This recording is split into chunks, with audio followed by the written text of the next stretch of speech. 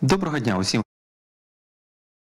Український кризовий медіа-центр продовжує свою роботу, і наразі ми маємо подію, е, організовану Українським інститутом книги, і стосується вона е, читання і української мови. Е, Звучить тема у нас сміливість бути своїми, читання як спосіб удосконалення рівня володіння українською. А я представлю гостей, які у нас є і онлайн, і в студії сьогодні. Це Марія Шведова, корпусна лінгвістка, викладачка м, Харківського політеху, е, Саня Малаш чи Олександра Малаш, е, модераторка розмовних клубів онлайн, авторка статей, співавторка граматичного курсу української мови громадського об'єднання Єдині. Е, Також е, Ірина е, Ейгельсон, е, кандидатка психологічних наук, е, конфліктологиня, старша дослідниця Центру досліджень медіації та діалогу ем, Київської Могилянської академії. А також Віра Карасьова, яка зібрала нас сьогодні, провідна фахівчиня відділу промоції читання Українського інституту книги. І я, е, Ігор Стамбол, буду модерувати і ставити короткі питання, як ми домовлялися. Отож, пані Віро, оскільки ви нас зібрали, то і розкажіть, по-перше, що це за тиждень читання, і е, чому ж ви нас зібрали сьогодні? Дякую, добрий день всім. Е, По-перше, е, акція е, Національний тиждень читання проводиться вже втретє Українським інститутом книги. Е, Цьогоріч е, ми е, тиждень читання організовуємо навколо постаті Миколи Хвильового. І е, тема тижня читання бути своїми. Е, І сьогоднішня розмова стосується такого акценту цієї теми, як сміливість бути своїми. І хоча е, основна тема це питання мови і питання вдосконалення мови, е, в першу чергу я хотіла би е, сказати про сміливість бути своїми е, не лише тих, хто переходить з інших мов на українську, відкриває для себе в тому числі українську літературу. А я хотіла би подякувати за сміливість бути своїми українським авторам, видавцям і всім, хто займається промоцією читання, тому що особливо зараз це. Очевидно, як мені здається, очевидний факт, що український голос і е, сміливість бути українськими письменниками, письменницями, сміливість промотувати українське е, це питання не лише якихось е, абстрактних матерій метафізичних, а це е, часто питання і фізичної безпеки. І тому, перше, це велика вдячність тим, хто продовжує, попри все, створювати український контекст і займатися промоцією українського. Якщо говорити про сьогоднішню тему сміливість бути своїми, я дуже вдячна е, всім нашим учасникам е, за те, що вони підключилися до обговорення, і в першу чергу пані Ірині, тому що е, дуже е, делікатна тема. е, Дуже складна тема, котру можливо іноді легше замовчувати питання е, російськомовного читача в Україні. Е, бо е, з одного боку, коли ми живемо е, в україномовній бульбашці, здається, що такі імена, як Забушко, Андрухович, Жадан, це настільки вже забронзовілі класики, які знають, яких знають абсолютно всі. Але з іншого боку, якщо ми виходимо за межі цієї бульбашки, то стає очевидно, що все не так просто. І е, саме оцей ракурс того, що саме непросто і з якими складнощами можемо стик- стикнутися, і головне, як ці складнощі ми можемо долати. Е, я сьогодні буду вдячна нашим спікерам е, за. Їх е, компетенції і їх пропозиції стосовно того, як ці складнощі долати, і трошки такої статистичної інформації, чому ця тема дійсно важлива.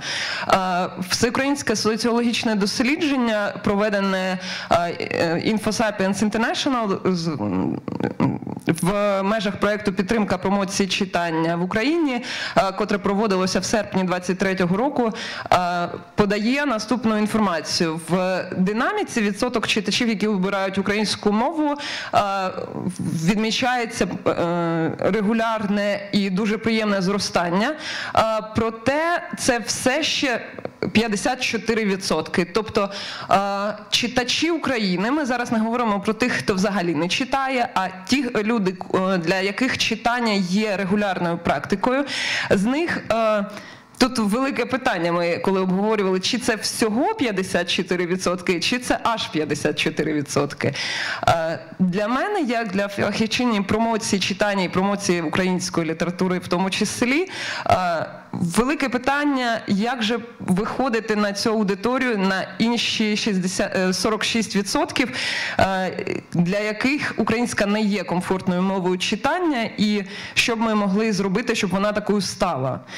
Е, І е, далі я думаю, я би хотіла вислухати наших фахівців, тому що е, моя задача тут радше послухати, зробити висновки і винести для себе. е, Певні кроки і певне розуміння, е, як Український інститут книги має, що ма- Український інститут книги має врахувати в розробці наших подальших стратегій. А от е, для цього ми маємо послухати спеціалістів. Тому Дякую, е, пані Ірино. Е, Цікаво насправді, що ми, коли говоримо про мову, ми говоримо з психологом, так? Е, Тобто. Зазвичай здавалось би, що треба було б філологів, але філологи зазвичай дивляться на проблему, от саме зі свого боку, так. Але коли в нас колективне і суспільне, то вочевидь до психолога, якраз е, найкраще звертатися. Але якщо ми говоримо про мову і про ідентичність мовну, то напевно для тих, хто є людьми так з українською певною, е, знаєте, світоглядом чи україноцентричністю в поглядах, то хотілося б, щоб все було однозначно з мовою, так тобто, щоб всі були україномовними і не було б проблем. Водночас, е, вже 30 років е, з лишком Україна незалежна, і ми ходимо ем, якоюсь спіраллю, правда? Тобто, от в пошуку, реалізації і становленню цієї ідентичності, тобто тут говорилося про відсотки, так ми розуміємо, що десь це правда, десь щось ем, змінено, але.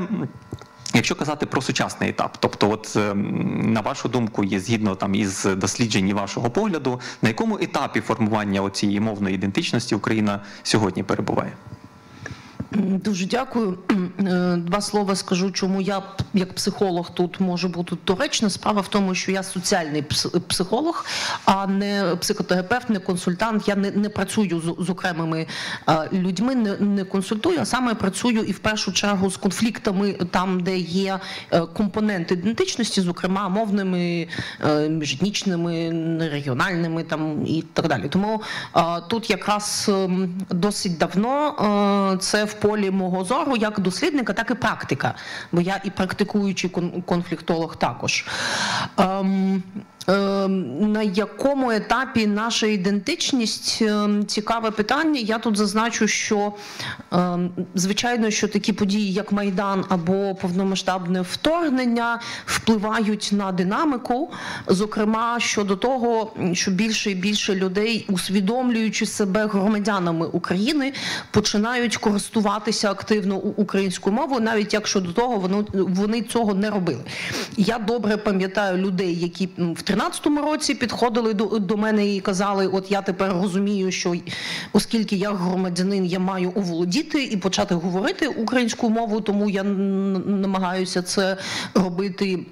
І я думаю, кожен чи кожна з нас чули такі або бачили цей перехід з початку повномасштабного вторгнення, там де люди переходили ем, на українську повністю або починали її освоювати, тому що е, це виявилося дуже важливою цінністю і маркером свого. Мій власний чоловік в минулому році перейшов повністю на українську, хоча до того майже не розмовляв нею, е, розумів, але не було практики, не було оточення того україномовного. Але він отак вирішив для себе, і десь з травня минулого року він говорить ви- ви- виключно українською. Хоча я вдома з ним спілкуюся російською. Тому я би сказала так, що ми на тому етапі, коли. Саме отакі е, дуже драматичні події нашої історії е, спричиняють збільшення е, використання української мови в дуже різних сферах, і в публічних, і в сімейних, і в інших. А якщо казати про те, що це процес, так він триває, е, і е, я так розумію, що для дослідників якраз І добре, що це процес, так що це не е, одномоментно все було вирішено, але дивитися, от якщо на його якість, е, ми рухаємось по висхідній до української ідентичності, чи ми е, зігзагами ходимо, чи як, як це виглядає? Е, Тут ми ступили на таку слизьку трохи е, дорожку з питання, що таке бути українцем, що таке українськість, да? тому що тут теж у людей можуть бути дуже різні маркери визначення того, хто є українцем, а хто не дуже. І це не тільки мови стосується, да, бо ідентичність складається з різних маркерів і поведінкових, і ам, інших. Е, Тому тут давайте ми о, уточнимо, чи ми говоримо про е, розвиток саме етнокультурного компоненту або громадянської ідентичності громадянина України, який може мати дуже різне етнічне походження. Ну, ми більше про мову взагалі, так? Тобто е, тут про визнання мови української як своєї, напевно. А тут дуже цікавий момент ем, для тих, хто. Народився не в україномовному середовищі на певному етапі свого життя може визначити для себе українську як свою близьку державну мову. У мене був колись такий момент непорозуміння з одним колегою, коли. ем, він почав говорити, ну, що наша українська гідна. Я сказала, що ні, для мене рідна російська в тому плані, що це перша мова, яку я освоїла в трирічному віці, і я не можу повернутися зараз назад в трирічний вік і опанувати першу українську, правда ж? Тобто, і він такий: ну, значить, для, для тебе українська не важлива. Я кажу, завжди. Вона для мене важлива, вона для мене є цінною, бо вона є мовою моєї держави. І е, я це е, ну так досить е, свідомо.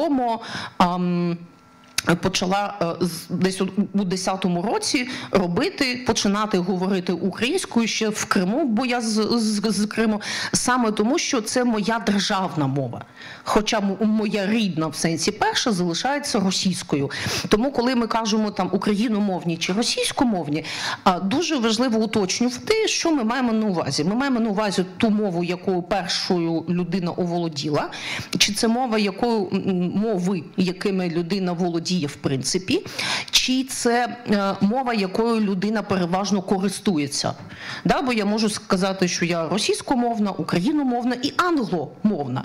Є досить часто в мене ситуації, коли я опиняюся в контексті, де є і, іноземець, який не говорить ні українською, ні російською і навколо. е, Тільки я одна англомовна і можу слугувати перекладачем. Та тому, коли ми кажемо російськомовний, україномовний чи там угорсько румуномовний, що ми маємо на увазі? Мова, якою людина постійно користується переважно, чи ми знаємо весь перелік мов, якими людина може послуговуватися. Ви І тут да, тут е, для мене кожна людина, яка володіє українською мовою і каже, що це е, мова для мене важлива і близька, він є вже українцем в сенсі приналежності до е, держави, до країни, до цього народу. Е, Трошки незаплановане питання. Е, Ви згадали про Крим, і е, от моє дослідження, зокрема, і публікація листування Івана Липи, який от відомий от так в українському русі, як теж людина вихідець із Криму. В нього є опис якраз ем, знаєте таких. Ну, психологічних проблем, але які дійшли вже далі до, до глибшого, до е, того, що потрібно було лікуватися, які були ґрунтовані, е, засновані якраз на українському питанні. Тобто були ем, в психлікарні чи там кінець 19 століття люди, які казали, е, ну от у них були, знаєте, ем, вони зациклені були на мовному питанні. Казав там один вічно казав, повторював фразу, що я малорос, маю говорити по-українськи. Ну тобто, от, от таке було. А наскільки українці взагалі мають, знаєте, якусь мож- можливо фобію пов'язану з мовою? Тут можна про це говорити? Е, Я би не, казала, що це фобія. Ем, ідентичнісні питання, ті, які визначають мене а, своїм для когось, да, ми же про сміливість бути своїм, а, воно є досить емоційним і воно може бути е, дуже болючим.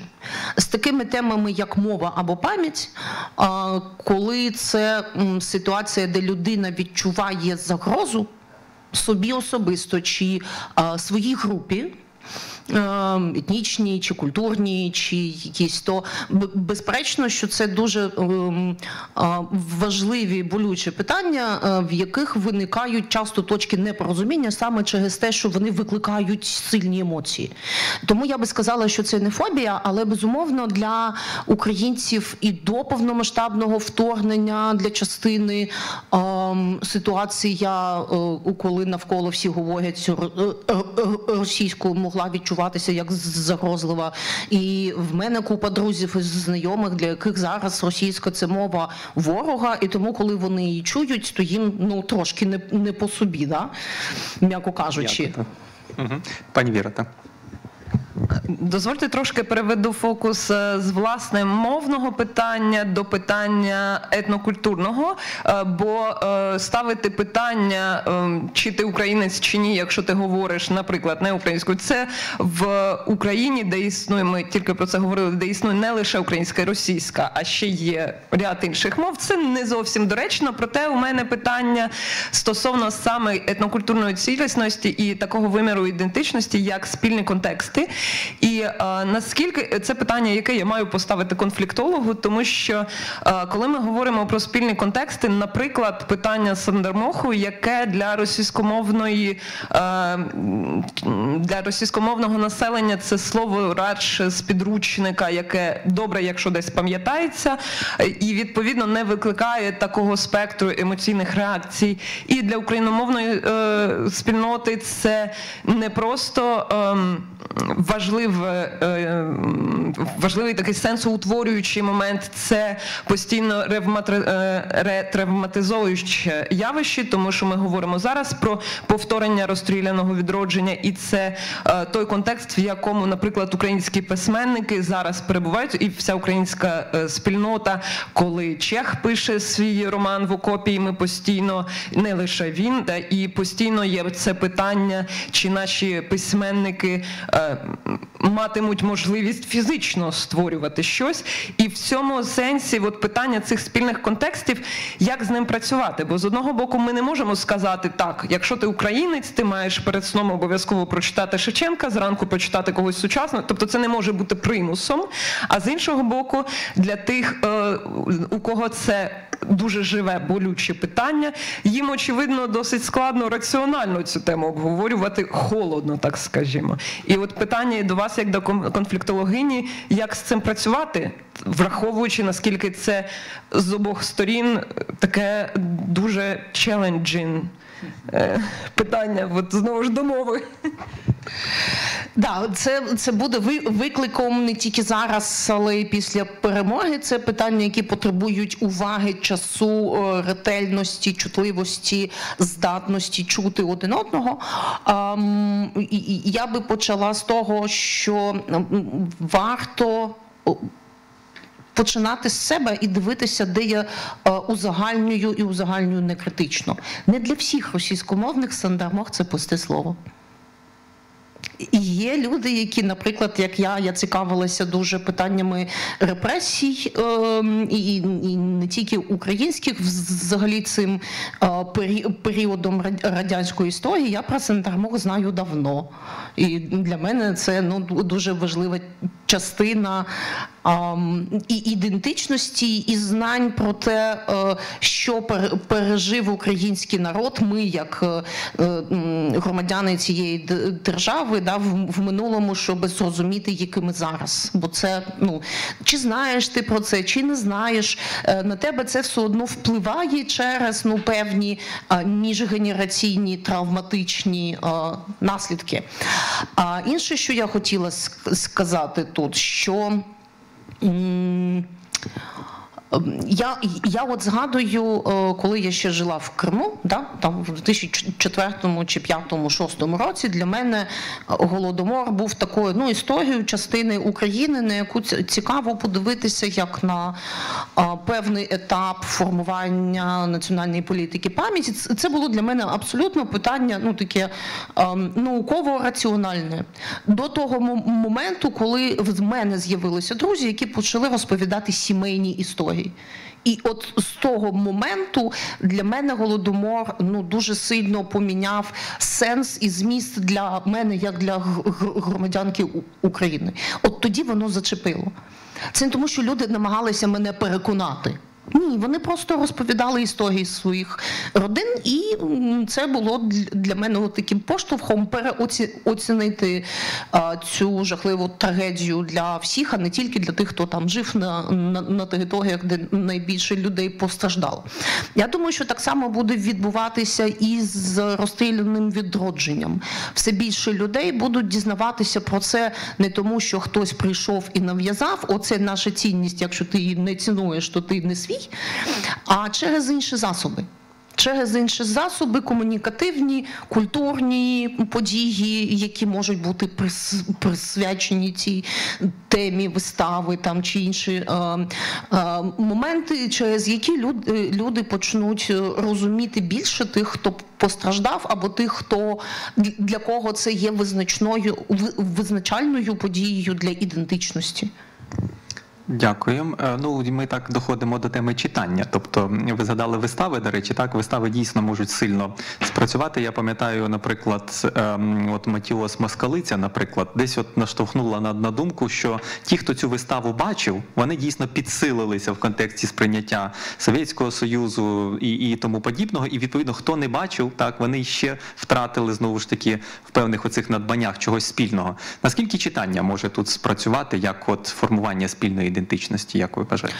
Я думаю, що да, тому що культурний код е, це теж те, за чим ми визнаємо своїх. Чужих, якщо я цитую, і ви на це реагуєте відповідним чином, да, то ми в одному культурному просторі. І в нас тут теж є свій пе- певний перехід з ну, радянського підходу до літератури і читання в, в українській. У когось е, цитати дуже швидко формуються спільні, а для когось це ще треба надолужити. Тому що, от, наприклад, у мене я народилася в Севастополі, я до 18 років жодного слова українською не чула, жодної літератури не бачила. І тому для мене це от те, що я маю опанувати, щоб бути з людьми, які проходили в дитинстві, або потім е, читали більш сучасну українську літературу, щоб бути з ними в одному спі- спільному полі. З іншого боку, е, і у мене, наприклад, е, там в моїй бульбашці друзів. Експертів з різних питань. Дуже багато людей ем, ходять на книжкові арсенали, обмінюються новинками. Прочитав це, прочитав це, прочитала таке. То я там підписана на Ганну Улюру. Я через неї, як критикиню, можу дізнаватися якісь новинки. Да? Тут теж ем, е, це може бути як прямий вплив, так і опосередкований через оточення, яке може ділитися тим, що варто читати, що є е, сенс, і коли ти хочеш бути з людиною на ну, в одному спільному полі сенсів, то ти про- прочитаєш те, що і вона, щоб, наприклад, обговорити, по- по- поділитися думками і підтримати таким чином стосунки. Дякую. Ну тут е, знаєте, хотілося б напевно бачити ще когось з е, міністерства, наприклад, освіти, але вже пані Віру запитаємо як представницю від е, інституту книги. А як же ж можна формувати ось ці? Ідентичності через спільне читання, тобто яким чином це має бути школа, чи це має бути знаєте, бульбашка, яка має розширитись на якийсь ось ем, ареал, чи щось інше? От як би ви пропонували? Стосовно школи, це дуже е, таке питання складне. Я думаю, воно не менш складне, ніж мовне питання, тому що е, до школи дуже багато з одного боку е, дуже багато очікувань від школи, і дуже багато батьків можуть е, е, перекладати певну відповідальність. Наприклад, ми не будемо вивчати самостійно для себе відкривати українську літературу, чи класичну, чи сучасну, тому що школа закриває це питання. З іншого боку, е, школа це. ем, ем, Досить дозволю собі е, Обережніше зі Да. Там ціла армія вчителів нас дивиться. Шкільна система е, це е, дуже велика е, система, і відповідно, як будь-яка велика система, вона має певну долю інерційності. І з одного боку, це добре, тому що ми не можемо сьогодні вчити одне, завтра вчити зовсім інше, післязавтра відкинути все, і, і тому що ми сьогодні так вирішили і так придумали. Тому я не розглядаю цю інерційність виключно як негатив, але про школу я би менше говорила тільки тому, що у нас навколо шкільних програм е, з літератури буде окрема дискусія на е, київському буквікенді, котрий буде на вихідних. Е, А от стосовно інших способів, це власне те, що ми активно робимо в Українському інституті книги, і це те, що до чого ми просимо долучатися всіх, в тому числі протягом тижня читання. Це якраз те, про що говорила Ірина. Це скоріше е, особисті досвіди, котрими ми ділимося, досвіди читання, і е, дуже е, тішить е, великий, велика перевага е, такого формату, коли ми говоримо не про якісь програми з читання чи обов'язкові списки, а говоримо про свої досвіди, тому що е, особистий досвід він дозволяє розширити, зробити більш інклюзивним цей підхід, тому що я можу дозволити собі, наприклад, сказати, е, хай мене пробачать всі, хто виховувались в україноцентричному полі. е, я е, дозволила, наприклад, кілька років тому сказати собі: ви знаєте, я прочитала місто Підмогильного і ура, українська література це не тільки село і кріпаки. Звісно, ми це обговорювали. Звісно, після цього е, я теж попросила би пані Ірину прокоментувати цей момент. Е, Що можна почути на свою адресу, коли ти в 30 з гаком років дізнаєшся раптом, що українська література може бути сучасною? Але е, я, як е, коли я ділюсь своїм особистим досвідом, я маю право говорити від свого імені, і я е, маю підстави говорити, Ж ви знаєте, в Дніпропетровській області, наприклад, котрий досі, досі е, дуже російськомовний регіон, е, у нас дійсно. Українська література, тим паче сучасна, тим паче, модерна література не є в фокусі, і е, люди мають докладати зусилля до цього. І коли ми ділимося особистими такими досвідами, це дозволяє людям, котрі ще в процесі цього відкриття. Е, Дозволяє е, відчути себе, якби знаєте, трошки пробачити собі. Певний, певний дилетантизм, якщо хочете, бо я не зобов'язана, як е, якби чи маю право я взагалі е, говорити щось про українську літературу, якщо я не маю в голові переліку всіх цих імен і всіх цих обов'язкових творів, якщо я тільки починаю відкривати, і от це е, я думаю, що оце поширення особистих досвідів, поширення якихось відгуків, якихось навіть відкриттів, навіть якщо вони для когось е, видаються очевидностями, як це ти міг досі цього не знати, але це е, пом'якшує таку радикальність цього питання і дозволяє більшій кількості людей включатися в ці контексти, про які говорила Ірина. І е, я би попросила вас ще прокоментувати от як пом'якшити цю радикалізацію, коли от, якщо ти цього не знаєш, то тоді. Двійка сідай, іди повертайся до школи, проходь курс української літератури заново. Чи як, як е, цю популяризацію української літератури проводити так, щоб е, це не викликало нових конфліктів? Да, я е, хотіла би прокоментувати питання про школи і повернусь до е, того, як е, більш лагідно можна просувати читання українське для тих, для, для кого це не є там природнім з дитинства. М, я багато працювала зі школами, з вчителями, з міністерством освіти, з- зокрема.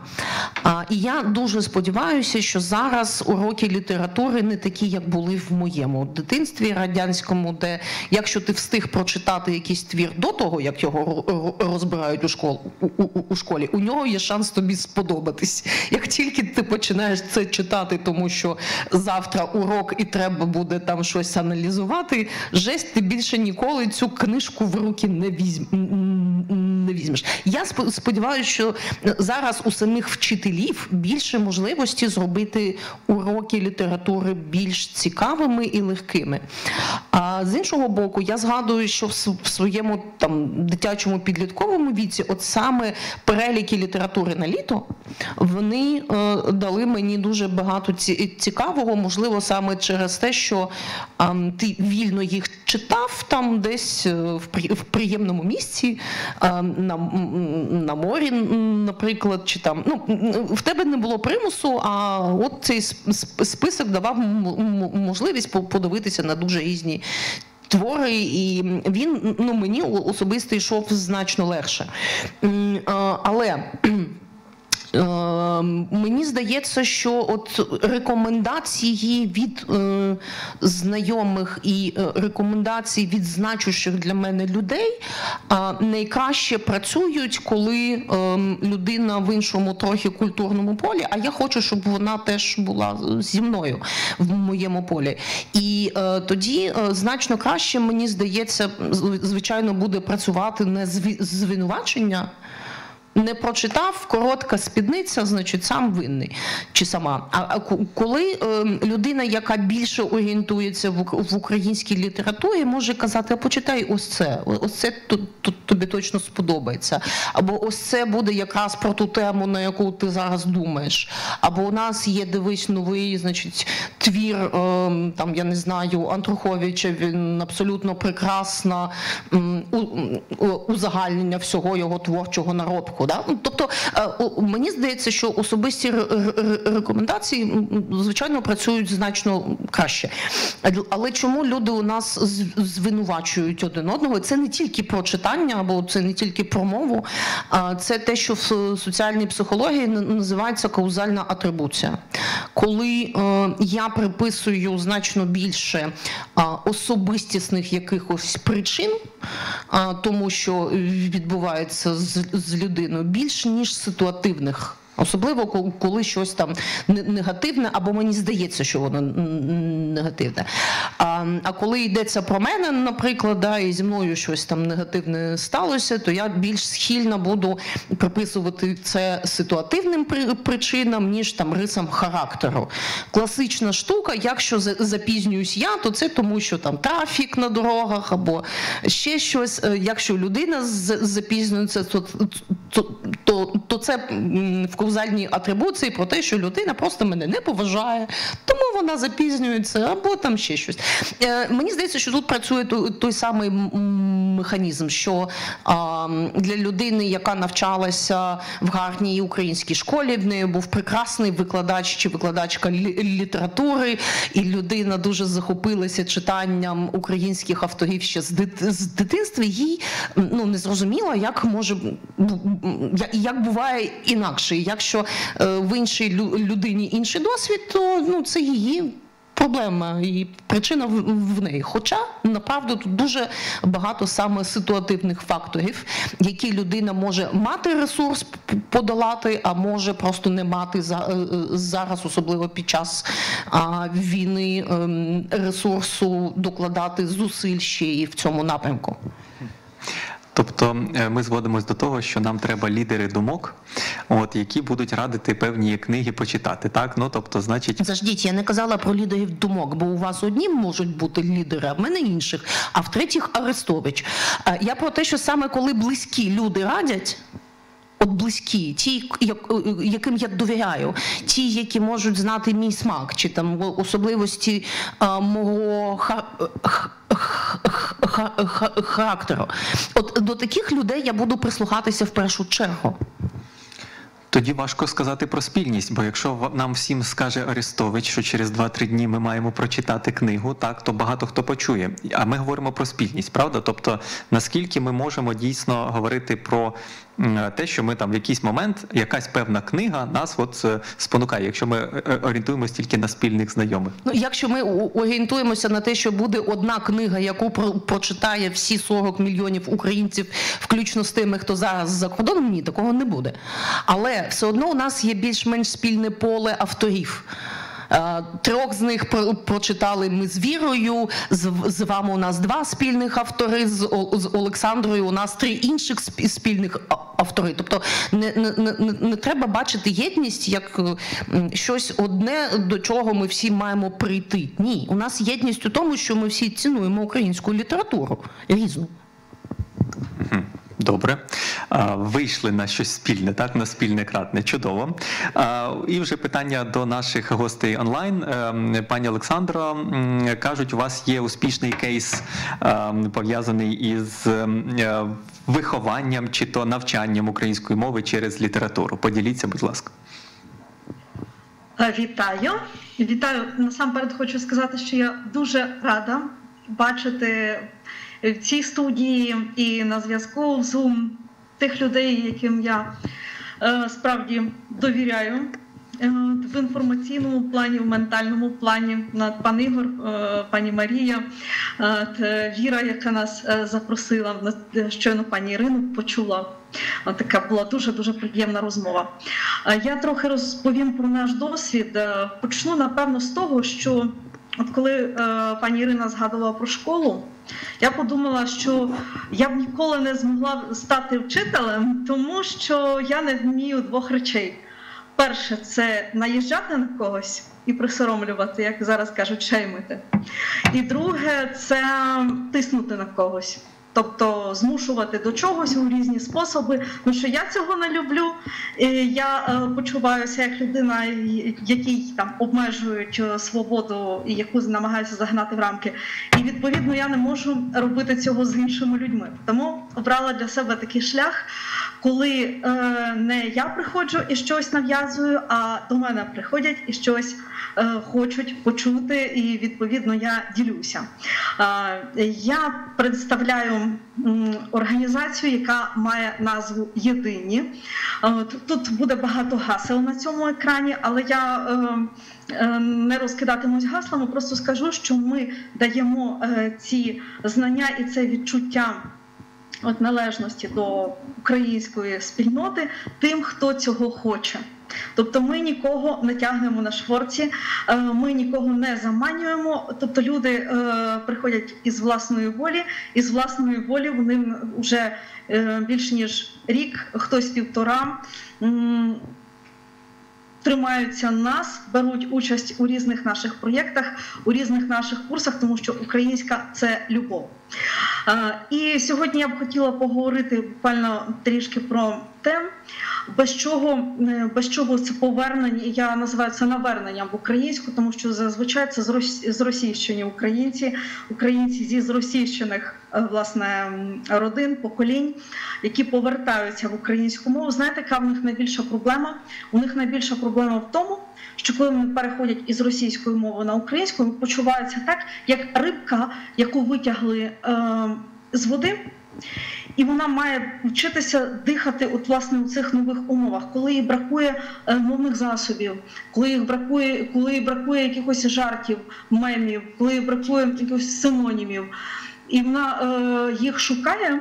А де можна знайти це, якщо, скажімо, ти виховувався, от як пані Віра розповідала, е, в російськомовному середовищі, коли ти дивився радянські фільми, коли ти дивився брат 2, умовно кажучи, коли ти читав російську літературу, і в тебе всі ці цитати, навіть зарубіжних авторів у перекладі, в тебе російською мовою звучать.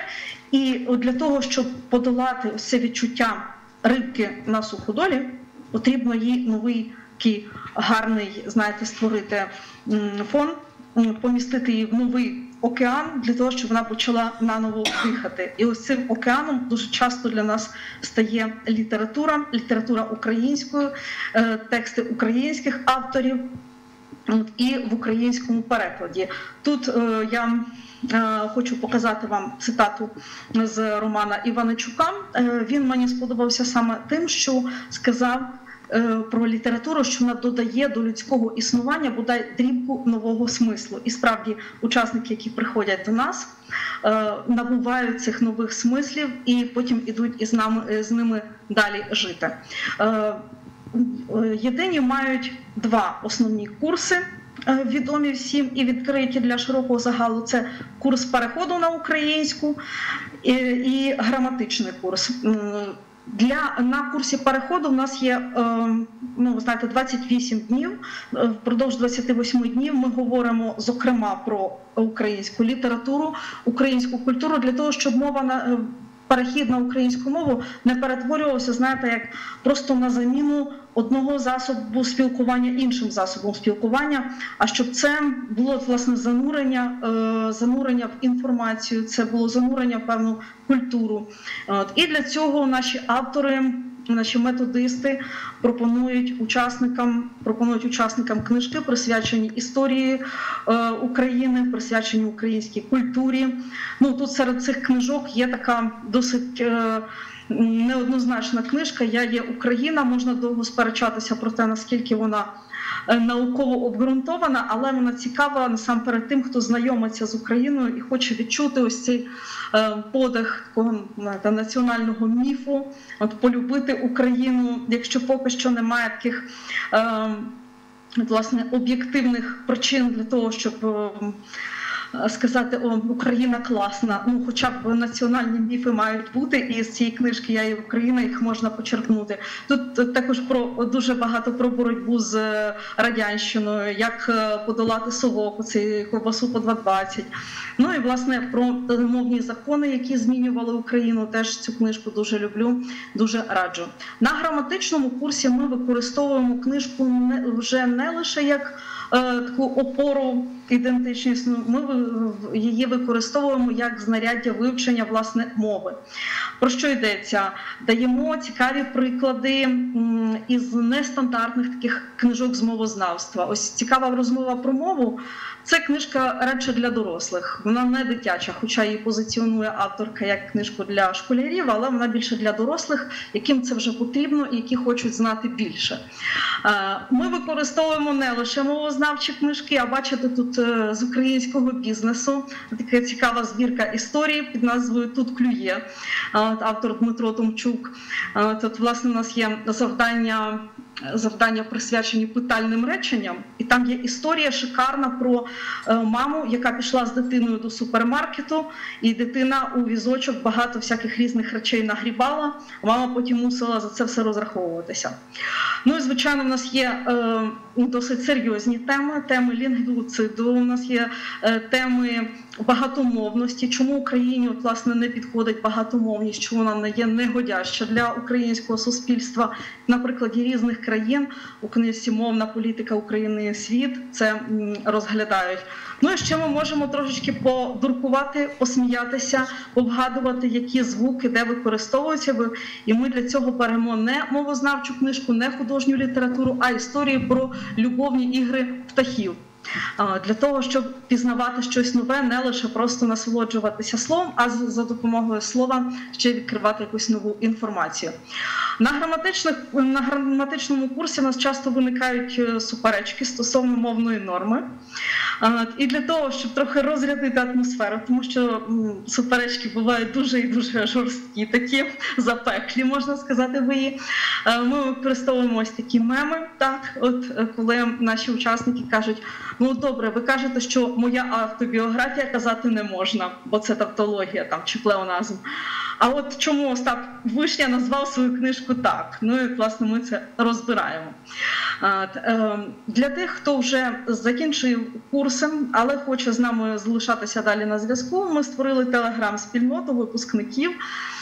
І там час від часу з'являються такі огляди на хороші українські книжки, на хороші книжки українських авторів. І от, власне, про шкільну програму дуже гарно у е, книзі Оксани Забушко, як рубали вишневий сад або довга дорога з Бадемс. Вона там аналізує, як можна мотивувати молодь. І мені було так ну, трохи, трохи дивно почути цей погляд, але зрештою я його, я його сприйняла. А, Так само ми у нашій спільноті оголосили сьогодні Національний тиждень читання і заохочуємо наших учасників ділитися прочитаними книжками, постати їх і е, пояснювати, розповідати про свій читацький досвід. Е, У єдиних є також сайт от на цьому сайті ми інколи беремо інтерв'ю у письменників класиків. От Степана Руданського е, була розмова на честь його дня народження е, от, е, 6, е, 6 січня. І власне там Степан Руданський дуже багато розповідав про те, як сприймали українську культуру, українську літературу, власне, росіяни, наші загарбники, колонізатори, от які там намагалися нас ототожнити з Росією, намагалися нас потопити в цьому москвинському болоті, і чому в них це не вийшло. І чому не варто триматися стереотипу, що українська література це або гуморески про секс, або ниття про е, те, ж, як у нас усе погано. Е, Також на нашому сайті ми давали добірку книжок, м, не нудні книжки, що покращать вашу українську. Е, Серед них із нещодавно виданих це спільна мова е, Анастасії Левкової, так, авторки роману За перекопом є земля. В неї і мовознавча книжка. Що ще варто сказати? Одним із наших провідних таких напрямків діяльності проєкту є розмовні клуби, коли люди е, вчаться власне розмовляти українською, і навіть ті, хто цього раніше не робив, в них успішно це не виходить. Але е, ми, звичайно, що на е, наших розмовних клубах намагаємося завести розмову про літературу, та мушу сказати, що не завжди це знаєте, такий успішний досвід. І е, завдяки цьому виникла така потреба створити, створити добірку таких корисних порад, як говорити про книжки, не знаючи, чи учасники їх читали. Бо ми не знаємо, що читали учасники. Може, взагалі нічого з українського. Можливо, вони там далі рібки, курочки, ряби в українській версії ну, не йшли. Тому ми починаємо розмову здалеку і на абстрактні теми. Так, наприклад, про що б ви не читали в жодному разі. І тут починають лунати імена. І тут починають лунати теми, і ми вже знаємо, з чим ми можемо працювати на наших наступних розмовних клубах, бо у нас їх упродовж курсу чотири. Е, Або, ну скажімо, чи згодні ви з тим, що читання депресивних книжок може спричинити депресію? Ну, це вважай на півтори години розмова тільки на цю тему. Починаючи з того, що таке депресія, от у власне такому народному розумінні, так пані Ірина знає про що я так, от як е, фахівчиня, і е, що таке депресія, от власне у розумінні е, спеціалістів, чим вони відрізняються, і чи може на це вплинути література, і як саме.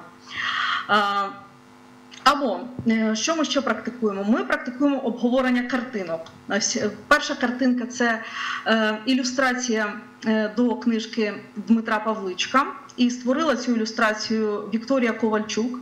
І ми ці ілюстрації обговорюємо для того, щоб вийти от, власне, на розуміння учасниками, як вони бачать, як вони бачать ці образи, що для- них означає там бабуся чарівниця, що означає там, коли людина має крила, коли вона говорить, що вона має крила, що під цим вона може мати на увазі. Або, от, скажімо, е, на е, день народження Тараса Шевченка ми говорили про їжу. Знаєте, не всі читали Кобзар, повірте, не всі читали, е, не всі учасники читали Кобзар, або хтось із тих, хто його читав, був, можна так сказати, не оцінив. Не оцінив. Але можна поговорити про щось простеньке, скажімо, поговорити про їжу. Тому що от у цьому розвороті це Леонід Ушкалов, е, Тарас Шевченко від А до Я книжка.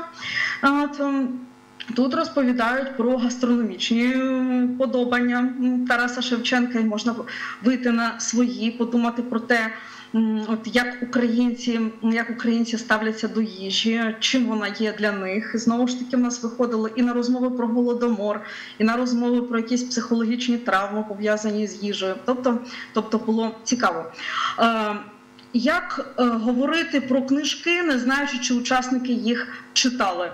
Ну от, власне, якщо ми е, точно впевнені, що в нас е, учасники знають тільки якісь е, народні казки або авторські казки з дитинства, ми можемо потішити внутрішню дитину і взяти інтерв'ю когось із героїв казок. Ми можемо розподілити ролі. Хтось буде, скажімо, мишкою, шкряботушкою, так і розповість там про свій про свій досвід.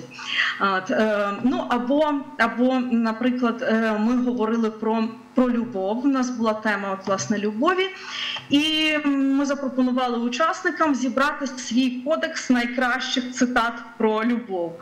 От з Ліни Костенко, з Василя Сухомлинського, там з усної народної творчості от, і так далі. Тобто кожен знаходив щось своє, якось дуже цікаво поєднував. От, е, і е, це було гарно. Як розширити словник, прочитавши одне речення? Одне речення це може бути або Роман Іваничук, або Оксана Забушко. Ну, от ми на прикладі Оксани Забушко покажу, як це робиться. Є одне речення, і в цьому одному реченні, здається, було 10 слів, які можуть бути незнайомі учасникам. Зараз покажу, які саме. От ми починали е, гру перший мільйон ну, з такого простесенького.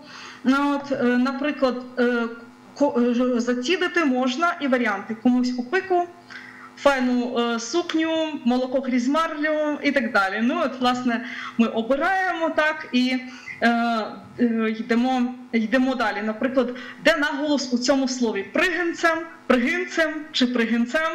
От, учасники вгадують і виявляється, що це наголос, скажімо, на першому, на першому складі. От, е, тобто такі у нас розваги. Інколи ми настільки серйозно до цього підходимо, що засновуємо цілий конкурс. От у нас до 27 серпня. е, е, Був проведений конкурс Хто для мене Іван Франко? І учасники давали відповіді там у Google формах. Надійшло, здається, близько 200 відповідей е, таких розгорнутих, хто для е, кого Іван Франко. І е, мені дуже сподобалося це, до речі, не перше, здається, третє місце було. Людина, яка жила, творила і не думала, що його ім'ям назвуть Львівський університет, до якого його не прийняли на викладацьку посаду. От, Бачите, наскільки круто ну, наші учасники розуміються на біографії е, Івана Франка. Е, Ну і ще такий варіант, е, як коротенько е, розповісти про Івана Франка і водночас сказати все, як ти до нього ставишся. Ось так фарбований лис це топ Іван Франко і мій краш. Тож, тож. Якщо так підсумовувати, якщо підсумовувати, нас література пронизує фактично все. Е, Тому зараз вчимося створювати такі вірусні фрази, от вірусні фрази з Остапа Вишні. Е, Щоб е, замість тих фраз з радянських фільмів у нас лунали цитати, цитати, е, бо зазвичай, е, якщо, якщо ми дітьми вчили українську мову, вивчали літературу е, в школі, у нас є цитати там з літературних класиків, з українських класиків, але немає таких ну, розкішних фраз на кшталт. Що робиться в пеклі, що робиться, всі чорти в паніці. Ну, от я дуже люблю цю фразу, м, її вживаю, вже навчила наших учасників, вони теж під цю фразу ілюструють будь-які життєві ситуації, ми їх на розмовних клубах розбираємо. Отже, е, отже, ви можете переконатися в тому, наскільки, наскільки літературою пронизане от, ем, усе наше буття проєкту Єдині. І наскільки ми, ми дбаємо, щоб е, ті учасники, які залишаються з нами, і ті, які йдуть із нашого проєкту далі в широкий світ, щоб ми цю часточку завжди запирали з собою. Дякую. Дякую, пані Олександра. Ем, Коментувати пані Ірино, обіцяли коментувати, прошу. І, да, я з одного бо- боку з великим задоволенням слухала ем, Олександру. і Цей підхід мені дуже дуже імпонує. Е, З іншого боку, можливо, я неправильно почула, але мені здалося, що пролунало, що Україна не може бути багатомовною. Може, я помилилася. Е, ні, ні, ні. Е, це трошки трошки не те. Ну гаразд, я так е, коротко розкажу, звідки з'явилася ця загалом ідея про те, що Україна може чи не може багатомовно. Ішлося про ось цей е, популярний міф про те, що от у Швейцарії, ну а далі ви знаєте. Та що у Швейцарії чотири офіційні мови. Причому мало хто пам'ятає, яка яка четверта, і мало хто знає Греко-романська. те- так. Так, ретро-романська, саме так. От, власне. Е, І що Швейцарці між собою можуть взагалі спілкуватися англійською, тому що вони можуть не володіти мовами інших кантонів. Це перший момент. І другий момент це ось це е, таке, знаєте, пригадується, чи це байка, чи це була реальна подія, коли з одного кантону до іншого переправляли якийсь важливий пакунок, його не прийняли, тому що працівник власне чи то поштового відділення, чи то кур'єрського відділення не знав цієї мови. І відправив пере- перекладати. От власне, чому в Україні не має бути багатьох офіційних мов? Чому в Україні не може бути так, як у Швейцарії? От власне цьому був присвячений урок. Ми там розповідали про Канаду, от про те, як у нас дуже люблять теж. Дуже люблять такі теж що поширений міф е, озвучувати про те, що ми повинні, як Франція, а у Франції французька мова, і вони більше ніяких знати не бажають. І при цьому забувають про те, що у Франції є ще інші мови. Є мови національних меншин, які упосліджені, і на які чиниться такий тиск, що просто носії цих мов відмовляються через те, що вони не знають, де цю мову ще можна застосувати, крім як у себе вдома, і десь там на національному телебаченні чи на якихось місцевих ютуб каналах. От про це йшлося. Тобто е, про те, що Україна не може багатомовною бути, та борони Боже, навпаки, е, наше законодавство настільки лояльне е, до мов національних меншин, до власне мов е, іноземних, е, ну починаючи з того, що в нас е, там намагаються вивчати англійську, навіть е, щось там пробували просувати проєкт, щоб ми дивилися фільми англійською і перечитували українські субтитри. Ну хто не бачить, купляйте окуляри, це ваші проблеми і так далі. Але ні, в жодному разі, в жодному разі не йшлося про те, що в Україні там не може бути багато мов. Навпаки, це класно. Коли є багатство, але е, ще краще, коли ем, більше уваги приділяють захисту тих мов, яких більше ні, немає, де і кому захистити. Ті самі кримсько-татарські, ті самі кримчацькі, е, ті самі урумські. Е, я взагалі не знаю. От зараз е, цей окупований Маріуполь чи залишаться там живими. Не кажу про те, що чи збережуть свою мову, свою культуру маріупольські греки. Тобто, а це, а це той варіант, от, власне. Це, це румейська мова, це урумська мова, чи залишиться від них щось, ну теж час покаже. Е, Тому ну, ми можемо з одного боку пишатися тим, що в нас Україна розмовляє 140 мовами на, на секундочку. Е, А з іншого боку, ну так, виходить, що ми захищаємо мови національних меншин. І не забуваємо одночасно про те, щоб захищати українську. Дуже дякую за уточнення. Оце якраз про те, звідки можуть виникати конфлікти і непорозуміння. От коли ви додали слово офіційних, стало зрозуміло, що ви маєте на увазі. Коли ми просто говоримо, Україна не може бути багатомовною, я це як чую, як не знаю, лю- людина з першою кримсько-татарською, рідною чи з угорською, я починаю думати, ви що хочете мій народ тут винищити, чи що? Тобто дуже важливо, коли ми говоримо, уточнювати один в одного, якщо особливо, якщо є щось таке тригерне, чи вірно я почув, чи щось там е, я не дочув, чи є щось, що треба ще мені знати, щоб зрозуміти, що ви маєте на, на увазі. Дякую. Дякую. Дякую. І я хотіла би е, пропоную трошки перевести в більш позитивне русло розмову. Про е, хоча це дуже важливо, і дякую за це уточнення. Бо е, дійсно е, я думаю, вирішення конфліктів в будь-якому випадку починається з уважності з обох сторін, з е, готовності уточнювати і з готовності не робити одразу поспішних висновків, причому з обох сторін, і з готовності відповідно себе пояснювати. Але е, я хотіла би повернутися до позитивного. Е, Саню, чи можеш ти, будь ласка, повторити цю фразу стосовно пекла? Як там ця цитата звучала? Що робиться у пеклі? Що робиться? Всі чорти в паніці.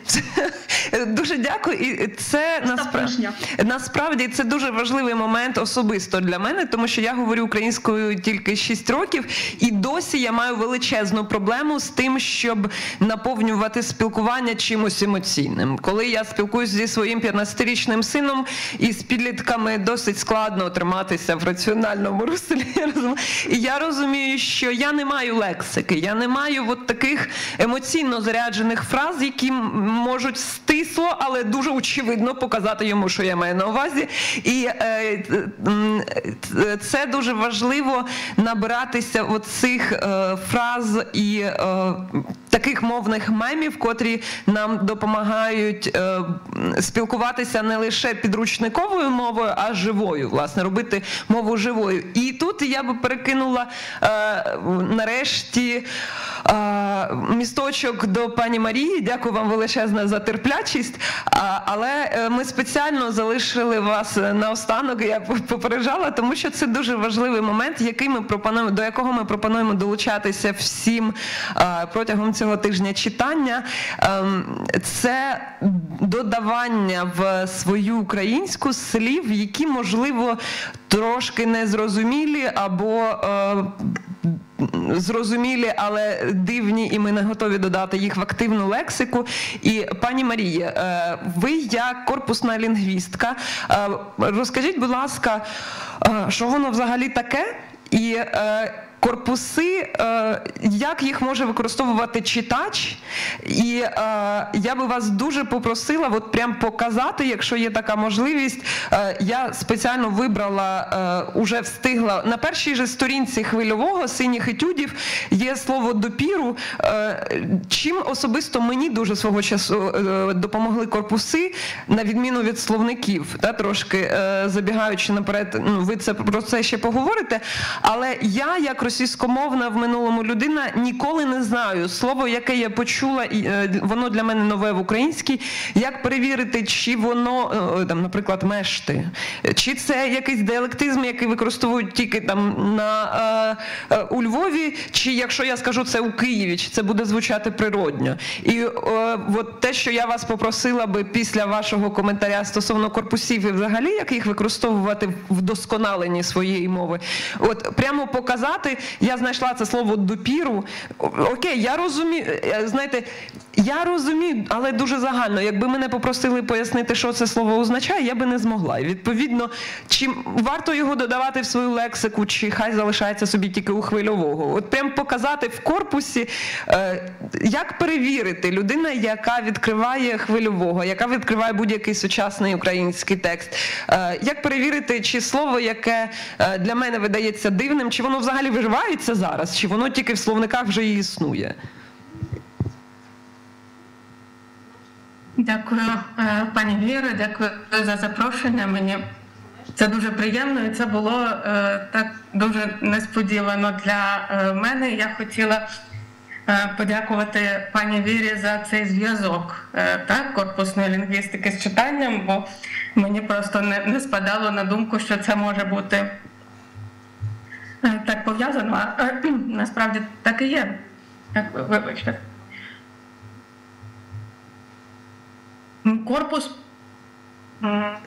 це е, той інструмент, який добре знають сучасні лінгвісти. Це зібрання текстів з певною програмою для е, пошуку у цих текстах. Ми можемо шукати слово, ми можемо шукати граматичну форму, ми можемо шукати якісь складніші сполучення для себе. І е, ці тексти мають е, розмітку то ми можемо проаналізувати, ем, де де вживалося це слово, які автори його вживали, можливо, воно застаріле, можливо, воно регіональне. Е, розмітка корпусу все це дозволяє робити. Е, і е, корпус, який ми наповнюємо різноманітними текстами, так, максимумом текстів, якщо це такий тип корпусу, як той, який роблю я, е, стає таким документом мови. Це, Це інструмент, до якого може звернутися людина, яка не знайома цією мовою хоче перевірити, чи є в цій мові якесь явище, вона може подивитися, звісно, в словник, але в словник потрапляє не все. У корпусі набагато більше. Корпус е, дає нам можливість подивитися на контексти, де вжито те мовне явище, яке е, яке ми е, шукаємо. Так? І е, мені здається дуже важливо, що були згадані сьогодні вже. Е, Загрожені мови. Це якраз ті мови, для яких особливо важливо укладати корпуси, е, збирати матеріал. І Е, корпус це якраз та форма е, найбільш зручна і прийнята. Зараз, у якій зберігаються ці матеріали, бо ем, ними у такому форматі зручно користуватися. Так, І я покажу екран.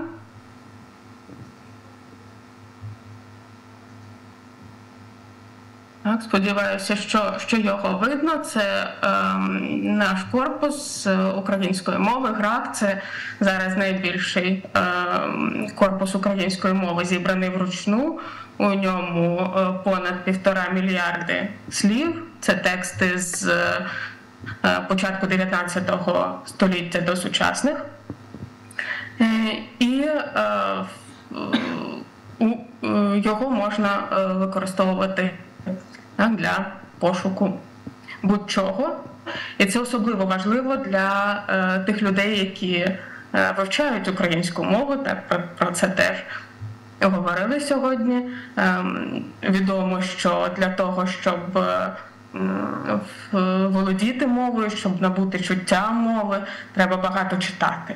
Так? Але е, чому треба багато читати? Для того, щоб певні слова, певні граматичні конструкції побачити багато разів і засвоїти зразки, як вони вживаються. Ось корпус е, дає нам такі зразки е, без читання багатьох книжок. Так ми можемо подивитися саме те, що, е, що нас цікавить. У корпусі зібрані такі тексти, які люди читають, так, книжки, відомі тексти, і такі тексти, які люди ніколи не перечитують. І в цьому ще цінність корпусу, тому що там зібрані, наприклад, газети е, кінця 19 століття, початку 20 століття. Там зібрані якісь е, страшні радянські газети, які ніхто в страшному сні не буде перечитувати але е, в корпус дає нам змогу користуватися цими текстами, не читаючи їх. Так? У цих навіть у радянських газетах можна знайти дуже цікаві речі. Мені зараз згадав, згадався контекст. Е, про е, колгоспника. Це газета Радянська Волинь, 70-ті роки, і там стаття про нього починалася, що його життєвий шлях не був вистелений святковими рябчунами. Це було нове слово для мене. Я його із задоволенням дослідила, пошукала в словниках і корпусі, але побачила цей контекст тільки завдяки корпусу. Це так, такі речі, які люди не не перечитують. Так? Корпус як документ зберігає їх. Так, ну І е, тепер до пошуку. Так, Тут є е, така коротка інформація про корпус, інформація про розмітку текстів. Це, мабуть, більше для лінгвістів, для тих, хто е, буде глибше користуватися цим інструментом. Ось тут є в меню пошук е, у раку. І е, тут теж така коротка-коротка інструкція. І ми можемо обрати останню 17-ту версію граку. Тут різні інструменти. Це програма NoStitch Engine, найкраща програма для пошуку в корпусі. На ній працює багато корпусів, майже сотня е, зараз. І конкорданс це той інструмент, який покаже нам контексти з корпусу. Е, І е, е, я хочу показати вам такий приклад. Е, Мені трапилася дискусія у Фейсбуку, у якій брала участь пані Саня Малаш. Е, В е, філолог Роман Зінь згадав такі слова попитний і почетний, які він ем, пропонує відродити, і ем, які я раніше ніколи не чула. Так, цих слів немає е, в сучасному академічному словнику української мови, але вони є у старих словниках і вони є у караванського. І ось м, перше слово попитний, попитний це популярний від слова попит. Ми ось так просто можемо його пошукати в корпусі і знайти декілька контекстів. Дуже мало. Так, ви пам'ятаєте півтора мільярди слів у е, цілому корпусі, і е, у п'ять разів трапилося слово попитний, два контексти однакові. Тут помилка в корпусі, попитний товар. Так? Е, І ми бачимо оцей е, позначку unknown. Це означає, що цього слова немає в словнику, е, на основі якого розмічений корпус. Це означає, що ми знайшли тільки е, в- оцю початкову форму слова. Так, якби слово було в словнику, ми б знайшли різні форми слова, і тоді ми можемо повернутися до е, нашого запиту і пошукати без закінчення, так, щоб знайти більше. Так, ми шукаємо все з е, лівою частиною попитн, і далі може бути якась права частина будь-яка. І так ми. е, Як? Перепрошую. Треба перейти до іншої опції. Ось. І тепер е, ми знаходимо і попитних, і попитну, е, попитний товар, так, е, попитний продукт, е, попитний крам, е, зробити попитну виставу. Оце дивіться, тепер ми можемо подивитися на самі тексти, де вживаються, вживається це слово. Найперший контекст е, 1919 року. Ну, Я натисла на цей сірий рядочок, е, відкриваються метадані, це паспорт тексту. Так, вся інформація, яка про нього відома. Це 19-й рік, це газета Республіка, е, яка виходила е, Желехівкою. Так, Західноукраїнська газета. Текст ми взяли з сайту Збруч, так, де ем, є велика колекція е, старих е, західноукраїнських газет. Ми можемо перейти до цієї сторінки, до оригіналу, знайти е, цей фрагмент. Так? А інші, дивіться, сучасність це Німеччина. Ем, Це помилка, попит на облігації. Е, Вісті комбатанта це Торонто. Ем, А це знову ем, е, діаспорний автор. Так, ми бачимо з корпусу, що це слово вживалося у текстах української діаспори. Так, і друге слово е, почетний. Так, тут у нас е, 14 контекстів, е, але одна помилка, тому насправді 13. Е, і е, так, дивіться, література так, дуже попитна і почетна. Так, до тижня читання якраз е, те слово, яке потрібне. І ми можемо тут замінити одну літеру і пошукати ще е, ще це слово. І тут більше 53 контексти, е, так само вісті комбатанта. Е, Ми можемо налаштувати вигляд конкордансу, щоб бачити автора у, ем, у цьому списку.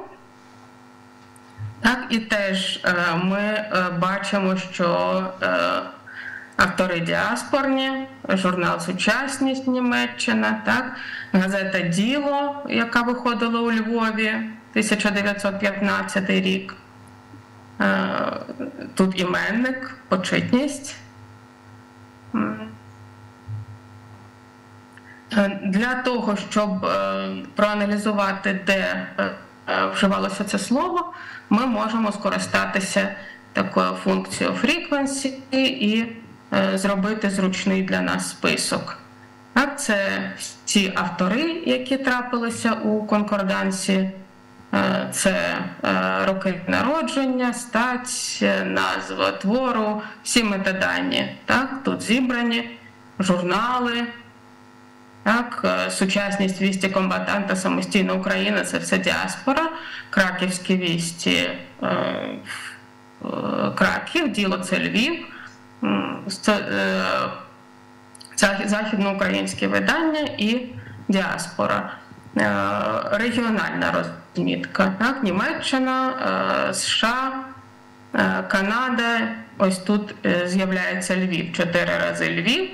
І ось тут ми можемо натиснути три крапочки, перейти до контекстів і подивитися, які це контексти були у Львові і коли.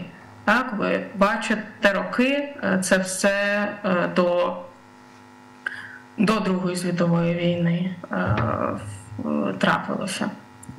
Ось такий у нас є зручний інструмент. Так, це корпус ГРАК, який е, е, ми е, зробили у 2016 році і вже скільки? Боже, сім років наповнюємо і продовжуємо наповнювати. Якщо ви подивитеся ось тут сторінку розробники, ви побачите ну, спочатку нас, а потім студентів. І е, з 2018 року студенти різних університетів долучалися до наповнення корпусу. Це дуже велика ручна робота. Це тексти вичитані вручну, так, ем, зіскановані, розпізнані. І ви бачите, як довго я гортаю цей список студентів. Так? Почався новий навчальний рік, і е, студенти вже працюють над наповненням корпусу. Дякую, пані Марія. Дякую. Так, колосальна робота насправді. Е, Так, прошу. Буквально одне речення, тому що це важливо саме е, з точки зору е, в минулому російськомовної людини. Марії, дякую, що ви проговорили цей момент, що це тексти, це можливість знайомитися з мовою, не чи- перечитуючи все, що є.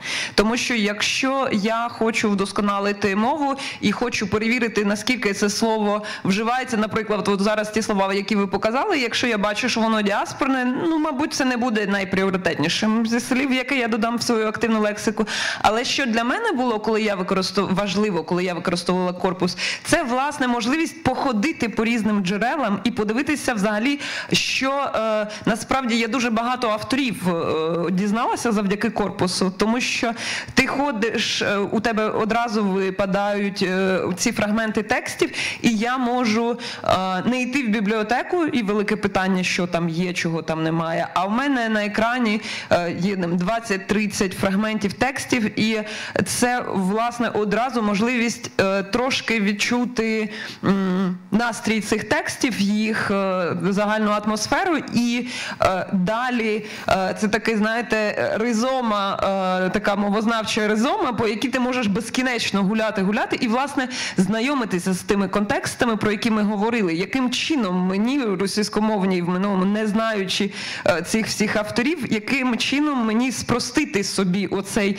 е, шлях по цьому безкінечному е, лабіринту українських сенсів, текстів, авторів і, всього, яким чином мені в це заронуритись. І в цьому сенсі корпус став чудовим таким ключиком, де сидячи у себе вдома, я могла подорожувати всіми цими безкінечними текстами. За це величезне дякую. Тому так неочікувано виявилося, що лінгвістичний корпус, який з одного боку цікавий виключно дослідникам мовознавцям, виявився дуже зручним інструментом для поліпшення мови і для знайомства з контекстами. Дякую. Це напевно тому, що ви, пані Віро і пані Марія, ви дуже ґрунтовні люди. А я, наприклад, е, більше дізна, дізна... я давно знаю про існування раку. З одного боку, але я більше е, дивлюся на такі Фейсбук-групи, як е, до прикладу, всі нормальні люди з Полтавської області, там, де е, люди, які з Полтавської області, обговорюють, питають один одного, а це слово у вас використовують, не використовують, а що, а що воно у вас означає, а які є синоніми до нього, де люди ну в такому досить вільному спілкуванні вони проговорюють специфіку своєї цієї дуже соковитої полтавської мови. І я мрію, що у нас по всіх областях будуть такі групи. Я просто буду по них ходити і дивитися різні діалектні форми і насолоджуватися ними. Добре, так. Е, Ну, ми е, по більшості питань, ті, які планували е, розглянути, обговорити, обговорили. Десь все виглядає простіше. От принаймні, коли є група людей, які готові поділитися так важливою літературою, ту, яку дійсно прочитаєш і здобудеш для себе щось з пошуком. Ну мені здається, от, от таким. В корпусі це вже більше треба заглиблюватись, тобто це вже треба е, націленим бути більше. Тобто, десь від е, пані Олександри тільки можна підійти до пані Марії. Напевно, навпаки, буде, буде складніше. От, але е, я не буду завершувати, не буду говорити завершального слова, тому що тут ще з нами от хвильовий. Напевно, пані Віро, поділіться на завершення, чому ж він тут з нами був цей весь час. Хвильовий. Я насправді не зовсім згодна стосовно того, що от е, до корпусу, корпусу так важко підійти. І е, стосовно того, що тут я думаю, е, ми от говорили про різні досвіди і інклюзивність того, чим більше варіантів, тим легше обрати той, що підходить тобі. Тому що мені різні групи, різні обговорення, я знаю, що вони існують, і це прекрасно. Але для мене, наприклад, це дуже багато людей і дуже багато обговорень. Коли я можу працювати безпосередньо з текстом, мені так простіше, і я думаю, така трошки інтровертність це не стільки про, про науковий підхід, це просто кому з чим легше працювати. І саме тому о, хвильовий, по-перше, е, ми нарешті маємо е, повне зібрання творів. Е, н- у- Я вже чула коментарі, що не настільки воно повне, як е, хотілося би, але це теж е, от про сміливість бути своїми, про сміливість створювати. Е, Тому що е, коли є корпус текстів, з яким можна, який можна критикувати, обговорювати і далі на ґрунті цього продовжувати роботу, це чудово, це набагато краще, ніж коли немає нічого. І е, хвильовий, чому ще ми пропонуємо насправді ці п'ять томів. Ми дуже вдячні видавництву Смолоскип за те, що вони надали їх нам для розіграшу. Це п'ять томів, які ми подаруємо е, одному з учасників мовної дегустації, котру сьогодні ми анонсуємо. Е, це е, власне дослідження мови, і ми дуже вдячні єдиним, які прицільно на ем, поширюють цю інформацію, цю акцію саме на аудиторію. Я спробую делікатно це сформулювати. Не російськомовну, а е, аудиторію людей, які працюють над вдосконаленням своєї української. Тому що я після шести років говоріння українською все, все одно е, знаю, що мені ще вдосконалювати і вдосконалювати. І от це допіру я зараз прийду, буду гуглити. Е, Це сьогодні ми зробимо опис цієї акції. Насправді це дуже проста трьохкрокова задача. Треба взяти будь-яке слово з хвильового. Умовно знайоме або незнайоме взагалі, пошукати його в, гракі, в граку, е, взяти з тлумачного словника значення і взяти з граку ще два, е, ще два випадки вживання цього слова. І е, тим самим ми хочемо наповнити наш простір в першу чергу соцмережевий. Українською мовою і її багатством. Тому що з одного боку е, я говорю українською 6 років, але все одно ця мова більше е, побутова, і е, я думаю, що якщо оцінювати за рівнями володіння, то це навіть, мабуть, ще не зовсім інтермідієт. В українській ми не, не маємо таких рівнів, але мені б хотілося, щоб це були вищі рівні. І якщо ми говоримо про вищі рівні, то це відповідно складніша лексика. І е, Після того, як людина познайомиться от, з одним словом і вибере три е, цих випадки вживання цього слова, таким чином ми просто це знаєте, таке давайте ділитися скарбами і відкривати їх заново. І е, ми просто рандомно виберемо е, людину, одного з учасників, котра отримає ці е, п'ять томів, і вже тоді матиме можливість, от, власне, дуже. Прицільно працювати вже так, щоб от всі п'ять томів перечитати і вибрати. І чому е, ще дуже хотілося би е, завершити на такому. е, Важливому моменті з одного боку може здаватися, що мова, словники, корпуси це дуже щось е, академічне і далеке від реального життя.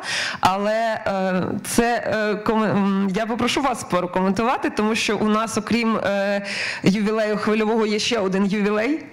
І це е, для мене особисто важливо. Ми сьогодні вже говорили про е, мови, е, окрім російсько-української, інші мови. І е, Питання збереження мов і питання навіть вдосконалення мови неможливо вдосконалювати щось, якщо у тебе немає потрібних інструментів. І людина, яка е, мала е, таку здорову нахабність взятися за таку величезну задачу, як створення першого словника української мови, без якого б я думаю, е, завдяки якому і далі і робота з корпусами і вдосконалення мови стали набагато е, легші, і тепер ми маємо чим пишатися і над чим працювати.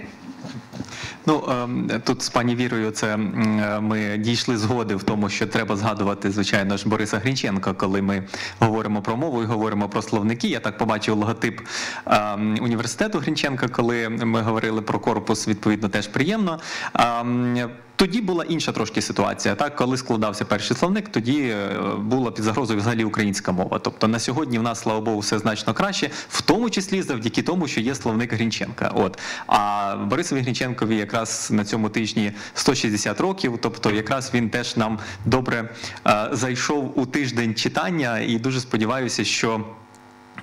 Ми, шукаючи слова нові, так, так як це робив колись Грінченко, так, а, і записуючи, і нотуючи, десь е, зрозуміємо для себе, наскільки дійсно ця ідентичність, яка базується на мові, наскільки вона для нас є важливою, наскільки ми є співучасниками всього цього процесу. От, ну і ще е, дійсно на завершення, пані Віро, де слідкувати за всіма новинами стосовно чи- тижню читання? Сторінка Українського інституту книги зараз вже е, існує медіаплан, е, до якого постійно підключаються нові, в який ми вносимо постійно нові заходи. Це все українська акція, тому дуже багато заходів проводиться в Києві, дуже багато заходів проводиться онлайн, і дуже багато заходів проводиться в регіонах також. Тому е, вся інформація акумулюється, по-перше, на сайті Українського інституту книги і в соцмережах. Дякую, Е, пані Ірино. Е, Я наостанок, як конфліктологиня, хотіла би сказати, що мені б дуже хотілося, щоб українська була не тільки державною і єдиною державною, не тільки мовою міжнаціонального спілкування з усіма е, всіма нашими представниками корінних народів і інших етнокультурних спільнот, але й щоб українська стала мовою порозуміння і єдності. Дякую. Е, Я подякую нашим учасникам, подякую глядачам-слухачам. Долучаємося до тижня читання, і щоб він у нас був не просто тижнем, а роком читання, десятиліттями читання. І читаємо, набуваємо нових знань, спілкуємося між собою дійсно і розуміємося. Дякую за увагу. На все добре.